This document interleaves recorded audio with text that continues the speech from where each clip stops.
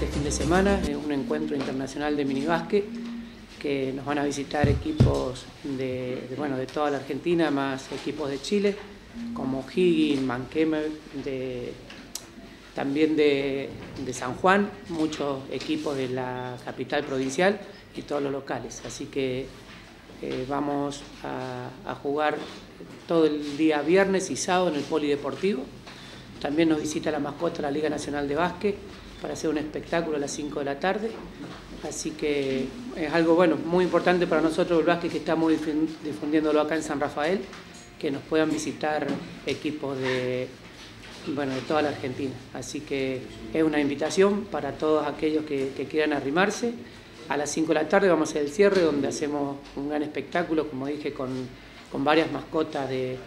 de equipos de básquet de nivel nacional, así que la entrada va a ser un alimento no perecedero que va a ser donado a algún comedor acá de, San Rafael,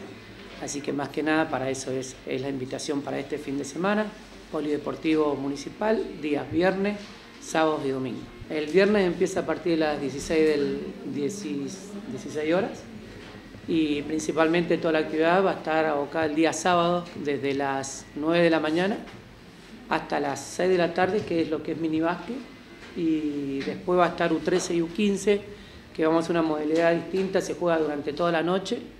a partir de las 12 de la noche y termina a las 6 de la mañana, así que son muchos los equipos, se arman cinco canchas ahí en el poli, y bueno, le tenemos que dar para, para poder terminarlo en un fin de semana.